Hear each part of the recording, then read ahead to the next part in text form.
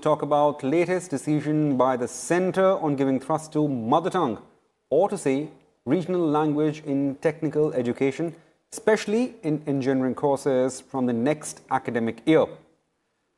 A few IITs and NITs are being shortlisted for the same. The decision to teach in regional language was taken at a high-level meeting chaired by Union Minister for Education, Mr. Ramesh Pokhriyal Nishank, last month. Well, in the decision announced, the ministry said that this move is in line with new education policy or the NEP 2020, which promotes regional language as a mode of delivering education. So, what exactly is this move? To discuss further on this, we are joined with three extremely eminent personalities from the field of education. Professor Pramod Kumar Jain, Director IIT BHU. Well, many thanks for joining us. Professor M. Jagdish Kumar, Vice Chancellor, Jawaharlal Nehru University. Many thanks for joining us, sir. And Dr. Shiv Govind Singh, Professor, Department of Electrical Engineering, IIT Hyderabad. Well, extremely thank you for three of us for joining us, sir. Let me start with you, Mr. Jagdish Kumar. Uh, sir, well, the government says this move is with line with new education policy. Now, how do you see this move of having technical education or to say the technical uh, syllabus being taught in mother tongue. Few IITs and NITs are already being selected for this. Sir, first words from you. Right. You know, let me set the context uh, first. There is no doubt that uh, English has become a preferable uh, language for scientific communication in the international context. Mm-hmm. And, uh, uh, you know, whatever discussion that we do, it should be based on evidence. It should be based on research data, and it should right. not be driven by emotions or any other reasons. Having said that, the discussion on English medium instruction or mm-hmm. EMI is not a new discussion. It has been there for several decades, for last four five decades, and especially the English medium instruction has become, you know, a major issue uh, in countries which are part of the global south. You know, uh, for example, large part of Asia, Central America, uh, uh South America, Africa, and Middle East, barring of course Israel.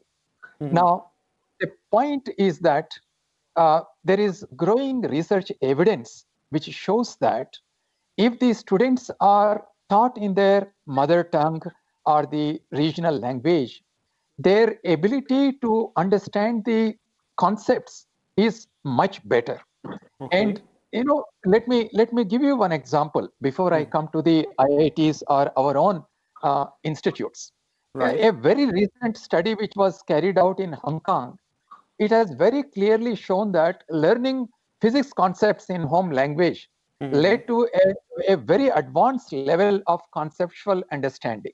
Okay. And in South Africa, recently a study was conducted, and the data has very clearly shown that if the students are taught these science concepts or engineering concepts in their own mother tongue, they have become more confident about expressing their ideas about science okay. or engineering. And if, if you uh, come to even smaller countries like uh, uh, Lebanon, where students have give, uh, expressed a very clear uh, you know, preference for being taught in their mother tongue rather than in English. Now, um, there is growing evidence which shows that people become more creative, students will become more creative and innovative if they are taught in their own mother tongue. Therefore, uh, what the national education policy has suggested and also the recent decision uh, uh, taken by the government to introduce the regional language or the mother tongue in the engineering education. I think it, it was long due, and I'm okay. very glad that uh, these steps are now taken in our higher education. Well, well, before I open up discussions uh, to two other panelists, let me ask you this question in conjunction to, uh, to what you uh, elucidated about other countries and their stress on learning on uh, their own vernaculars and their own mother tongues. So have you also considered any research of that kind, especially in India and vis-a-vis uh, the technical institute that we are opened up for, for imparting education or technical education in mother tongue? See, uh, having taught in IIT system for several decades, I have found myself that when we communicate in mixed language, for example, Hindi and English in the classroom, especially those students who come from rural backgrounds, they mm-hmm. feel very, very comfortable. Okay. Right? Uh, that is one. The other issue is that, uh, uh, you know, in, in, in every IIT at the end of first or second semester, um, we found that a large number of students, you know, anywhere close to 100 or 150 in IIT Delhi, for example, a few years ago, they, they, they fail in basic subjects such as maths, physics, and chemistry. Now, why does this happen? It is not hmm. because they are any uh, less creative. It is because they come from rural backgrounds. They might have studied in their own mother tongue. And when okay. they come to IIT, they have to grasp not only the conceptual understanding of the subject, but also they have to master uh, the English language. So that is where the problem comes. And I'm sure, uh, especially for those students who come from the rural and village backgrounds, right. studying in their own mother tongue will enhance uh, their confidence to do well. So, uh, right. therefore, right. I, I definitely feel that we should start with the mixed mode of teaching or offer the option of studying in their regional language uh, in the higher educational institutes if we want to make our students more creative and innovative. Right, right, right. Well, many thanks for uh, the opening remarks, uh, Professor Jagdish Kumar. Let me come to you, uh, Professor uh, Shiv Govind uh, uh, Singhji. Now, sir, let me understand here. will this move by the government, is it is it only to cater towards a regional population or is there the stress on mother tongue as that has also been emphasized uh, by no less than the chairperson of Rajya Sabha and uh, Honorable Vice President of India. So is it a larger picture to promote Indian languages in the curriculum as well? I agree. Uh, the intent may be to uh, encourage all the vernacular language.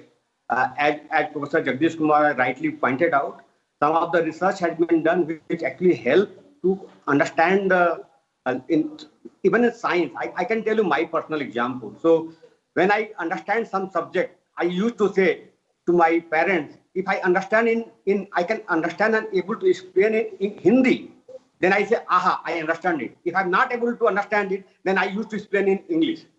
So whenever I understand anything, I able to explain in my own language. So that that is very important. To be creative, you need to be in your own uh, language. Unfortunately, the thing which hinders all of us is mm-hmm. that we don't have the resources, especially right. in a technical education. So, yeah, so right. there is a right. strong need to build up the resources to, to encourage this kind of uh, uh, learning. Otherwise, there will be always a lag. Right, right. Uh, let me come to you, uh, Professor Pramod Kumar Jain. Sorry for keep you waiting here. So let me just uh, start from the point here.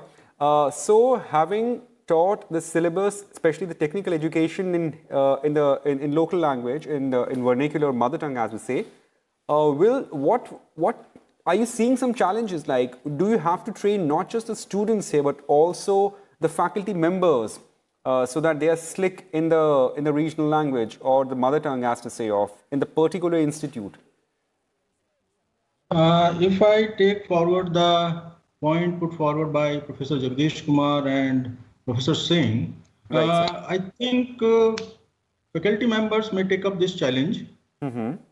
Particularly if I look at the, let us say, first year students or second year students in most of the IITs or NITs, mm-hmm. you know, many of them do come from the rural background mm-hmm. and many component of the teaching. For example, say the laboratory component and sometimes the tutorial classes are also held in sometime Hindi or sometime like that purpose of doing that is to make that student do understand the concepts and think like that. Plus the laboratory staff in most of the technical institutions are the local people and they may not be able to communicate in english with the students.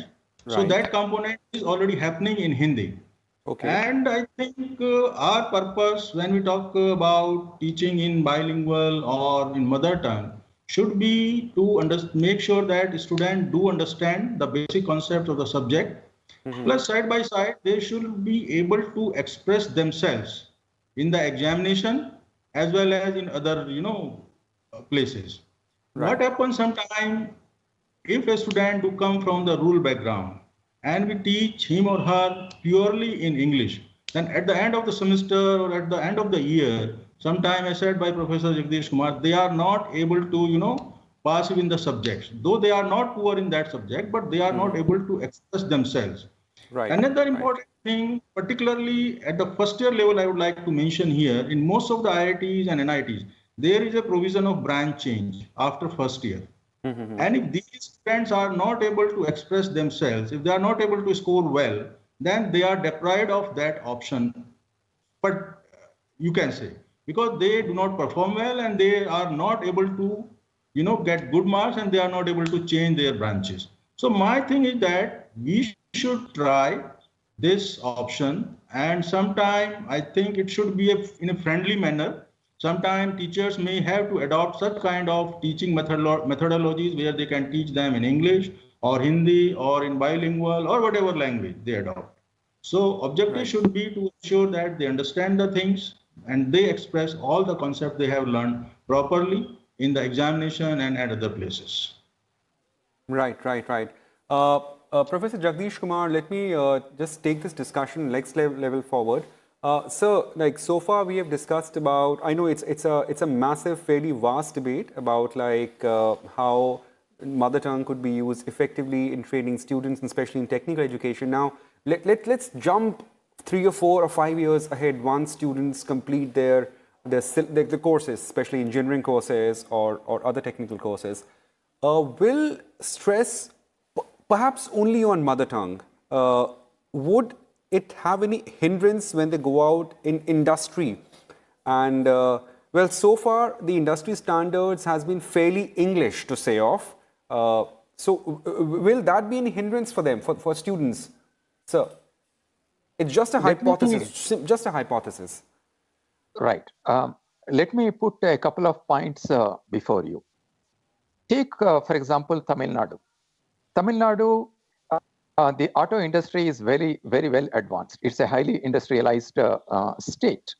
Now, the state universities in Tamil Nadu, mm-hmm. if they offer their engineering program in Tamil, that should be absolutely fine because the engineers who come out of these engineering colleges, mm-hmm. they can then be employed in the auto industry in Tamil Nadu, and then they can interact very well with the floor level workers who speak only Tamil. So right. the first the first thing that we can do um, is we can encourage the state universities to introduce the engineering programs in their local language. You know, mm-hmm. almost uh, every uh, district is going to have a university uh, sometime or the uh, or later. Now, only the students who are within that uh, uh, district will come and study in that university. Therefore, there is a strong point to make the medium of instruction in that local language. Now, having said that, we are not against English. This is something that people are misunderstanding and miscommunicating. English, of course, is required as a tool of communication uh, mm-hmm. at the uh, at different contexts. So, therefore, these students will also study English as a tool uh, to communicate. Right, so, there is right. a major difference between using English as a tool to communicate, using English as a medium of instruction all that we are saying is that the let the medium of instruction be in the local language and at the same time the students have to become proficient in using english as a medium of communication so if you do that uh, a student who is educated in say nagaland or a student who is educated in um, gujarat or uh, somewhere in, in kerala they are ready to work in any multinational company either in india or across mm-hmm. the globe so I absolutely don't see any problem as long as we make our students more creative by educating them in their mother tongue and then making them learn English as a tool to communicate, equipping them to communicate with the people uh, beyond their own local place. I think this will enable the students uh, uh, to become, you know, agents of social transformation, not just only in our country, but anywhere on the globe. Right, right, right. Well, uh, uh, let me come to you, Professor Shiv Govind Singh. Uh, as you, you in your answer, you mentioned about the creativity and how the lessons or, or education in, in mother tongue will enhance creative latitude of students.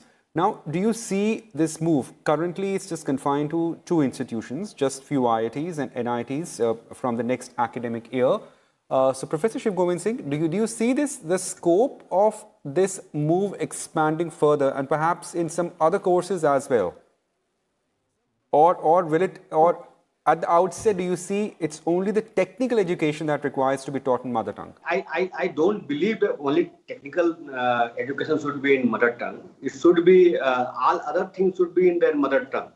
So, uh, but only thing, can you provide the resources? So, uh, mm-hmm. to start with the Pew Institute, I, I, I think this is a right approach because right. we need to understand what is what is what is lacuna before going to the achieve the larger goal. Once you understand each and each problem and step by step, then it's a good idea to go further level with the enhancement of, of those, those resources improvement. As, as, as uh, rightly mentioned by the both of the eminent professor, that mm-hmm. end of the day, English is important because the Nagaland people may not be having the all the technical uh, requirement completed there. They have to work in the, come to Tamil Nadu. Right. So language of science is same, right? Language of science mm-hmm. is not different. Only language of communication is different. So English right, right. can be, or Hindi can right. be, or some other thing can be language of communication, but science is same. So as far as mm-hmm. understanding of science is concerned, if you understand your language, it is very easy to communicate in any other language. That that that is my my stand on this. Right, right, right.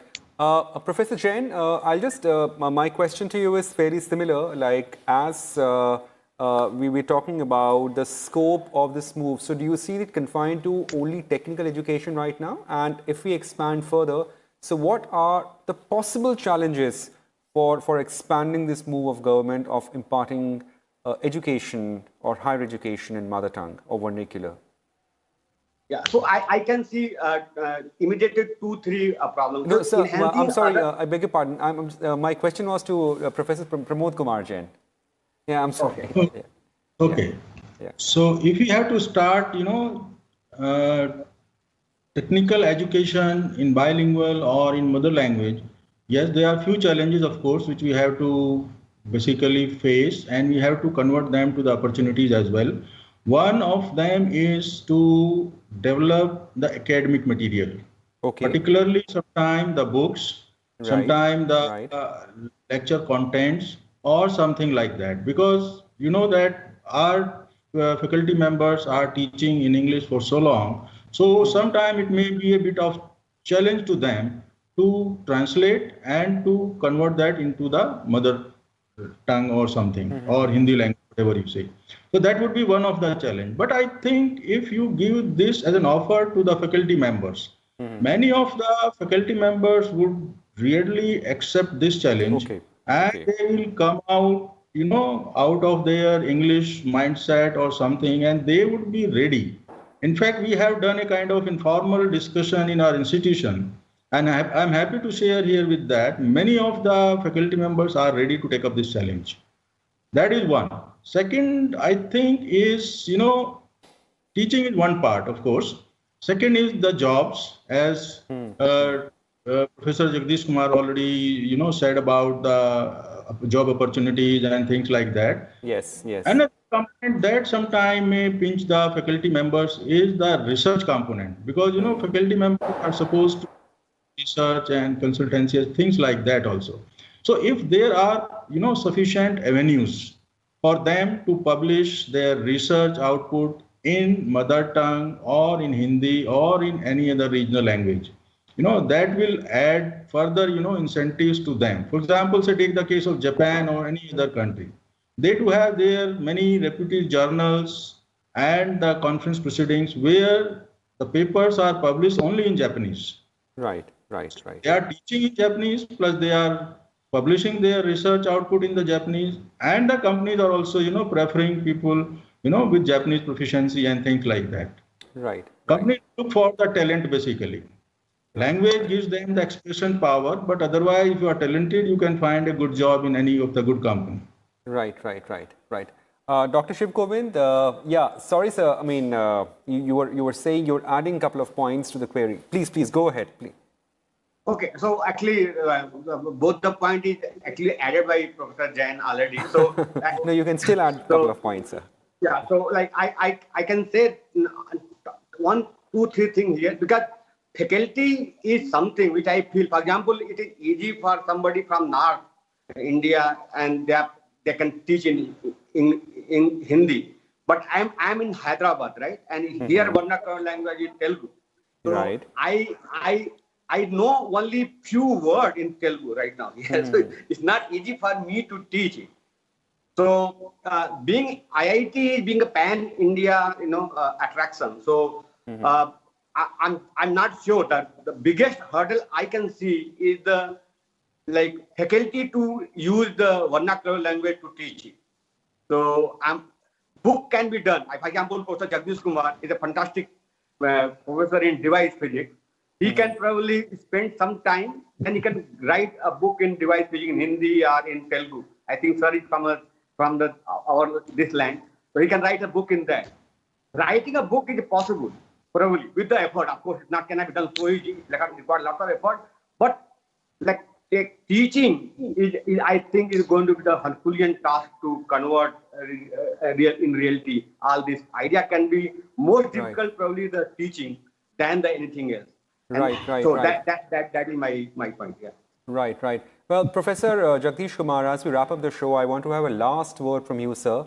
Uh, since you are the senior most in the panel here, uh, sir, uh, again, like as we say, like uh, all these, uh, the, the two younger professors, they, were, they mentioned and they talked about the challenges. Now, as a vice chancellor of a university, and hypothetically, if you think that we expand the scope of this move to other non-technical courses as well, now how will you take this forward? uh, as a head of an institution, sir, given the challenges along with it? Right. Uh, two points. Well, uh, at JNU, we have already formed an apex committee to look mm-hmm. at the possibility of uh, starting some of the programs uh, uh, in, in, in, in, in the local language, right? So, which so we are Hindi already or, or like or you'll have other North Indian languages. Okay. okay. right. Well, to begin with Hindi, to begin right. with Hindi, but looking at the challenges um, especially in national institutes where uh, uh, students will come from across India. You know, in 1925, writing in Young India, Mahatma Gandhi said, you know, by teaching our students uh, in a language which is totally foreign to them, we are making our kids